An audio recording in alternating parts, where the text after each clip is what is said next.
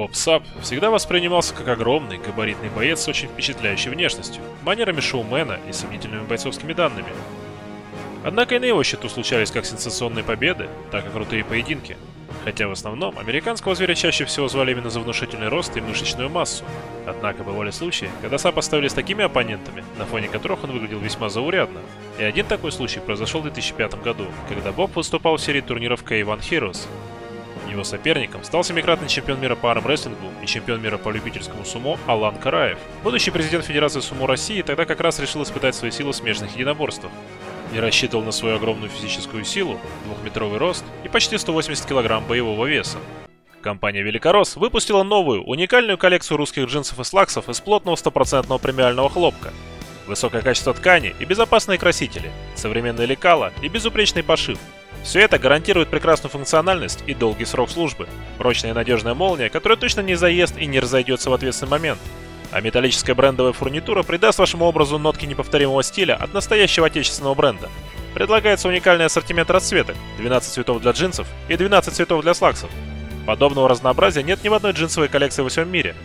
Бросьте уже эти тертые голубые американские джинсы и выбирайте правильные джинсы, правильных цветов от компании Великорос. Переходите по ссылке в описании. Там вас ждут отличные качественные вещи и подарочные акции. Heroes Super Fight. Bob Sapp versus Alan Karayev. 青コーナー200センチ180キログラムアラン・カレー破壊超人2メートル180キロアラン・カラエフ赤コーナー200センチ144.9キログラム ボブー。サープさらにスタミナを強くつけてきたと話す。2メートル150キロボブサップジャッジ平直之ヒーローズスーパーファイト。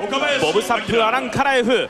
いやーこの2人が並び正面相対峙いたしますと非常に谷川さん、はい。リングが小さく見えますね。いや本当にともにね本当に150キロ以上とか180キロ170キロありますからね、はい両者足しますともう優に330キロ超えるという、ええ。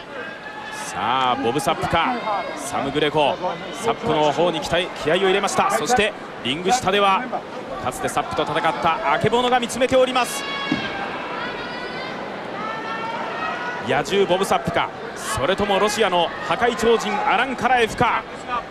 身の丈2メートル180キロのカラエフ155キロのボブサップ。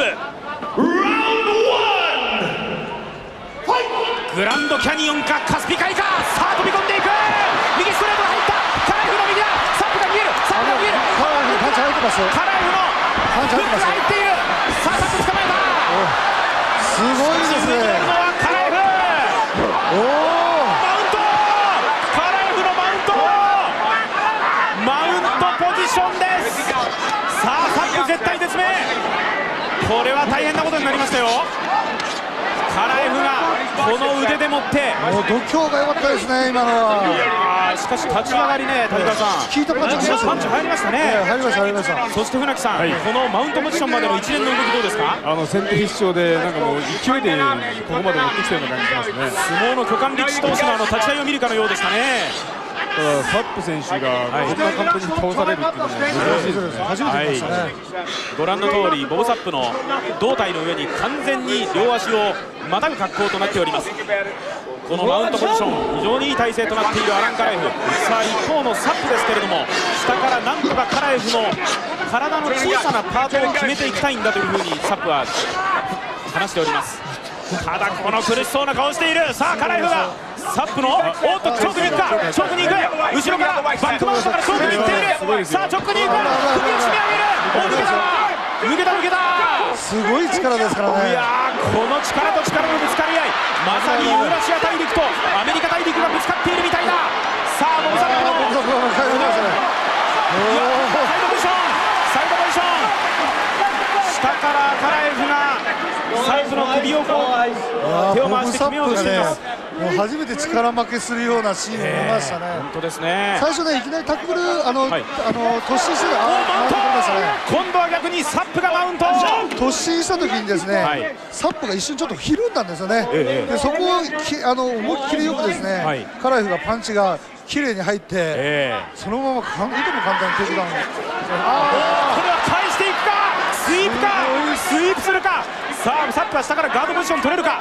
船木さんこれサップは右足をここで抜いていきたいんですけど。ガードポジション取った方がいいですね。ええ。お抜かせない。抜かせません。カラエフが上から。いとも簡単にサップの足を跳ねのけた。おっと今度は横後ろ後ろに回る。バックマウントかさあベンサップ懸命に膝を立てた状態。後ろからこのパンチが効いてくる。メガトンパンチだアラン・カラエフ。もう一度ボブサップマウントポジション。再びボブサップがマウントどうですか？サップはここから決め技に転じられますかね？あのなかなか難しいと思うんですけども、ええ。決め技に移行しようと思うと、カラフ選手がすぐあの立とうとするんですよ。そこをサップは殴りに行くこれですね。力ありますからね。下から今度は。下返せるなんて、ええ。本当尋常じゃない力ですね。しかもこの状態でカラフがまるでガードポジションで足を絡めるように腕で締め上げようとしています。ここであブレイクを命じました。ブレイクを命じました5分3ラウンドで戦います。腕相撲選手権。8回優勝のアラン・カラエフ180キロ。ちょっと膠着したので、ええ。ー立たせるということですね、えはい。えー互いにスタミナ使いましたね今のは、あー大きく息をしておりますボブサップ。いやボブサップチャンスですけどね、ええ。ちょっとあのカラフがですねスタミナなくしてますから。打撃はどうだサップ。左入った。サップの左が入った。カラエフも返